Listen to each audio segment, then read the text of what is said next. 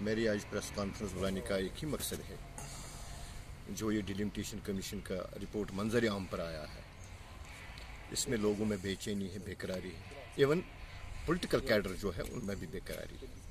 तो मैं एक सजेशन देना चाहता हूँ, एक मशवरा देना चाहता हूँ।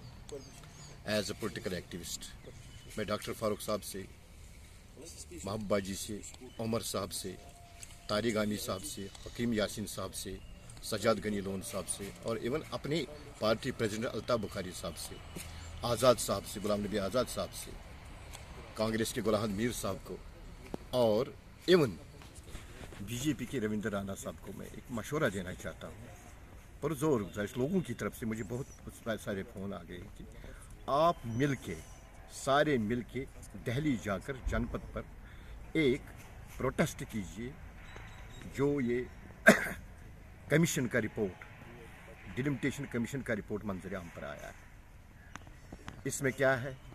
जब आप एहतजाज दर्ज करोगे वहाँ तो लोगों को लगेगा कि हमारा भी कोई है।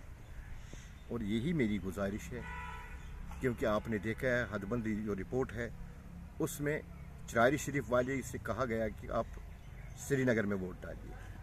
अनंतनाग वाले को राजरी से मिलाया गया इतने सारे आप देख रहे हैं, सारी कॉन्स्टिट्यूंसियों में। इन्होंने क्या किया है? पता नहीं इन्होंने कहाँ पर ये रिपोर्ट बनाया। और मैं इस पर नजरसानी प्राइम मिनिस्टर साहब से, वो हमारे भी प्राइम मिनिस्टर साहब है वो सिर्फ़ बीजेपी की नहीं है। उनसे मैं कहता हूँ, आप, आपने ही कहा है, दिल की दूरी, दिल्ली की दूरी, यह हम मिटाएँगे। आज यही मौका है। अगर आज नहीं होगा तो यह हमारे लिए बहुत अलमिया होगा। इसलिए मेरी यही गुजारिश रहेगी इन सब लीडरों से। आप मिल के एक ही प्लेटफार्म पर जाकर जनपद पर प्रोटेस्ट दर्ज कीजिए, ताकि हिंदुस्तान को, ताकि मरकज़ को ये पता चले कि जो जम्मू कश्मीर के लोग हैं, जो जम्मू कश्मीर का पॉलिटिकल कैडर है, इनको इस बात की ज़रूरत है, ज़ख्मों पर मरहम करने की ज़रूरत है। यही मेरा आज का मुद्दा है, यही मेरी प्रेस कॉन्फ्रेंस का मुद्दा है।